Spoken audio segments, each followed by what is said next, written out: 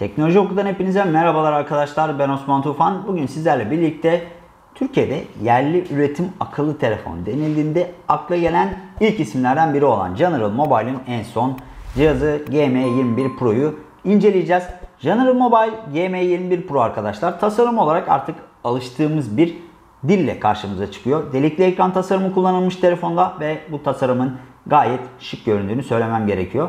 Yan taraflarda parlak bir çerçeve tercih edilmiş ki bu da sanki böyle çelik hattı gibi duruyor. Dolayısıyla e, şık bir görünüm sergilediğini söyleyebilirim sizlere. Telefonu elinizde tuttuğunuz zaman arkadaşlar sağ tarafta ses açıp kapama ve power butonu, sol tarafta ise sim kart yuvamız yer alıyor. Alt tarafa baktığımızda 3.5 mm'lik kulaklık girişi ve hemen yanında Type-C girişinin yer aldığını görüyoruz. Burada şuna değinmek istiyorum. Kutunun içerisinden kulaklık da çıkıyor arkadaşlar. Tabii çok böyle beklentinizi yüksek tutmayın. Senelerdir General Mobile'in klasik olarak telefonların yanında verdiği kulaklık geliyor yine. Ha, şu açıdan bakarsak eğer zaten 3000 Türk Lirası altına satılan telefonların kutusundan artık kulaklık çıkmıyor. Dolayısıyla burada kulaklık çıkıyor olması bir artı diyebiliriz. Ha tabii takarsınız, takmazsınız, beğenirsiniz, beğenmezseniz o sizin tercihinize kalmış durumda. Gelelim telefonumuzun diğer teknik özelliklerine arkadaşlar. General Mobile bu telefonda G90 yongasını kullanmış. Mediatek imzalı bir yonga seti bu. Yonga seti tarafında 12 nanometrelik bir üretim sürecine tabi tutulmuş. Yani transistörler arasında 12 nanometrelik bir mesafe var. Bu mesafenin biraz fazla olduğunu söyleyebiliriz.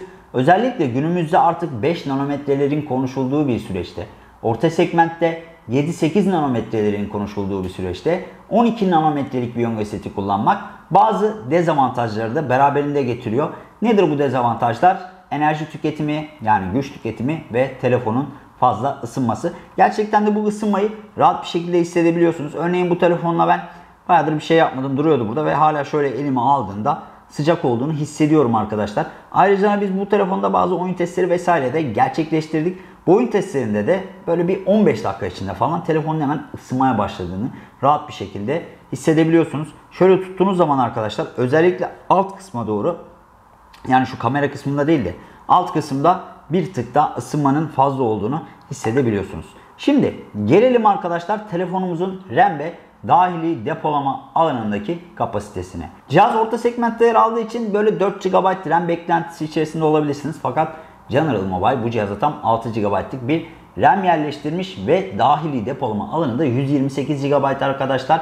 Yonga setini şöyle bir kenarda tutarsak RAM ve dahili depolama açısından rakipsiz olduğunu söyleyebiliriz. Yani 2600 Türk lirasının altına satılıp da bu şu anda mesela 2500 küsürlerde satılıyor. En ucuz olarak hatta direkt olarak bakayım arkadaşlar ben.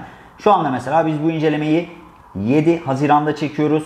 Yayına birkaç gün sonra girer muhtemelen. Ve cihazın fiyatı 2589 Türk lirası en ucuz olarak. Dolayısıyla 2589 lira 2600 lira altına satılıp da 128 GB dahili depolama ve 6 GB RAM sunabilen başka bir cihaz var mı bilmiyorum. Geçtiğimiz günlerde bir cihaz incelemiştik mesela. Onun fiyatı da 2700 Türk Lirası civarındaydı. Onda mesela 3 GB RAM, 32 GB dahili depolama vardı. Burada baktığımız zaman General Mobile'in önemli bir avantajının olduğunu söyleyebiliriz. Tabi buradaki dezavantaj da ne? Yonga seti arkadaşlar. Dediğim gibi 12 nanometrelik bir yonga seti ve çok fazla ısınıyor. Güç tüketimi de çok iyi değil açıkçası. Bu telefondaki batarya miktarı bir hayli fazla. 5000 mAh'lik bataryaya yer vermiş General Mobile. Normal şartlarda diyorsunuz ki ya bu batarya beni rahat rahat 2 gün idare eder. Ama biz yaptığımız testler sonucunda bazen böyle gün aşırı yani günü zor çıkarttığını gördük arkadaşlar. Çok fazla da oyun oynamadık mesela. Hani sosyal medya falan kullandım. Normal günlük bir kullanım olarak düşünün. İşte nedir? Instagram'dır. Ara sıra böyle 3-5 dakika periyotlar halinde oyun atmaktır. Toplasanız yarım saat belki 45 dakika bir oyun oynadım. Onun haricinde birkaç tane fotoğraf falan çektim. Yani günlük bir kullanım gerçekleştirdim. Bu günlük kullanımda da bir günü gerçekten zor çıkarttı. Burada 5000 mAh'lik bataryadan bahsetmişken yanında gelen 15 Watt'lık adaptörü de söyleyelim sizlere. Yani kutudan 15 Watt'lık bir adaptör çıkıyor. Bu telefonu öyle hemen fat diye şarj etmiyor arkadaşlar. Gerçi 2500-2600 Türk Lirası civarına aldığınız bir telefonda da kalkıp yanında zaten size 60 Watt'lık hızlı şarj adaptörü verecek halleri yok. O da ayrı bir mevzu. He, belki Türkiye'de değil de başka bir ülkede yaşıyorsak zaten 2600 birime çok daha iyisini satın alırdık. O da ayrı bir seçenek diyelim. Şimdi arkadaşlar gelelim telefonumuzun kamera özelliklerine. General Mobile bu cihazda 48 megapiksellik geniş açılı kameraya yer vermiş. Buna 5 megapiksellik, ultra geniş açı 2 megapiksellik, makro 2 megapiksellikte derinlik kamerası eşlik ediyor. Ayrıca ön tarafta da 16 megapiksellik bir selfie kameramız var. Bu dörtlü kamera yine arkadaşlar 4K yani Ultra HD çözünürlükte video kaydı gerçekleştirebiliyoruz. Tabi burada FPS değerimiz 30'a kadar düşüyor. HDR, yapay zeka desteği, otomatik odaklama gibi özellikler kameramızda mevcut. Tabi yani kamera öyle çok aman aman iyi fotoğraflar çekmiyor. Özellikle de düşük ışıkta arkadaşlar. Düşük ışığa geçtiğiniz zaman fotoğraf performansının böyle yerlerde süründüğünü söyleyebilirim sizlere. Ama burada tabi fiyatla ay, tabi burada fiyatla birlikte değerlendirmek gerekiyor. Gece iyi fotoğraf çeken telefonların fiyatları da iyi zaten. Dolayısıyla öyle bir cihazı zaten 2600-2700 liraya alamazsınız. Belki iki katı ücret ödemeniz gerekecek gece iyi fotoğraf çeken bir telefon için.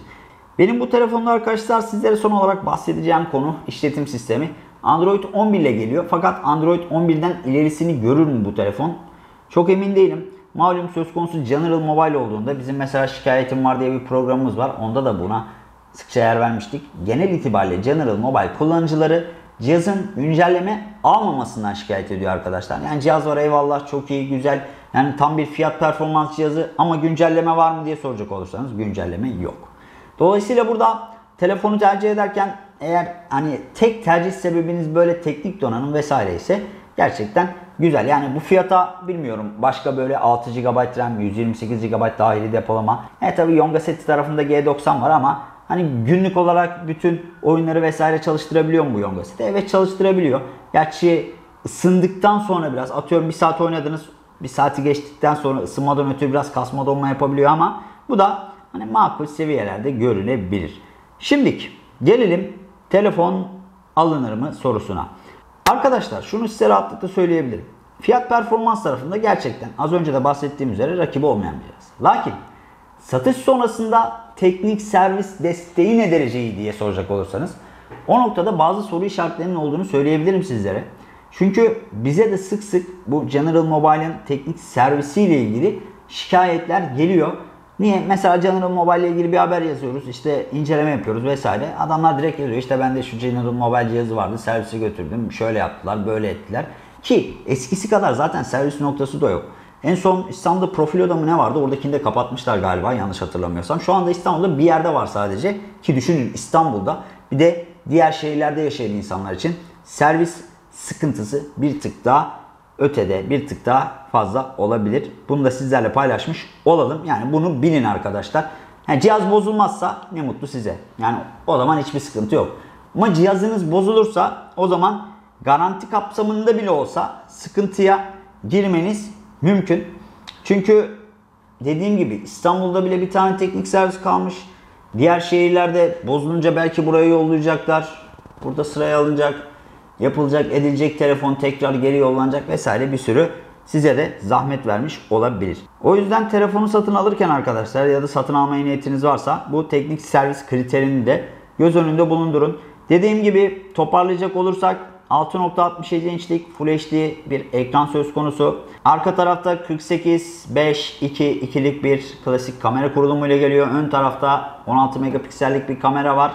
Fotoğraf çekimi gündüz çok kötü değil ama gece kötü arkadaşlar. Yani gece fotoğrafları düşük ışıkta e, çok kötü.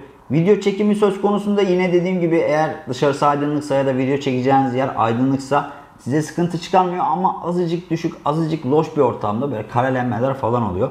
Dolayısıyla hani kamerasına çok fazla güvenmeyin derim. Zaten fiyatı da ortada. 4 tane kamera koymuşlar buraya ama hani bir tane kamera koyup adam gibi bir kamera koysalar da çok daha iyi bir performans alırlardı. Şunu da söyleyeyim size. Atıyorum XR'da bir tane kamera var ama bundan daha iyi fotoğraf, daha iyi video çekiyor. O da ayrı bir konu. Tabi şimdi diyeceksiniz XR'ın fiyatıyla bunun fiyatı bir mi? O da değil. Şimdi bu sıfır bir telefon. Düşünün bunu 2600 Türk lirasından daha düşük bir fiyata satın alabiliyorsunuz. Bu da General Mobile'ın CM21 modelinin en büyük artısı diyebiliriz arkadaşlar.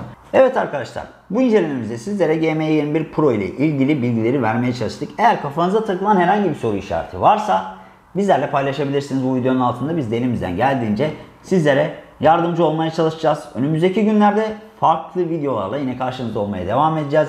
Bizleri sosyal medya hesaplarımızdan takip etmeyi unutmayın. Başka bir videoda görüşmek üzere. Hoşçakalın.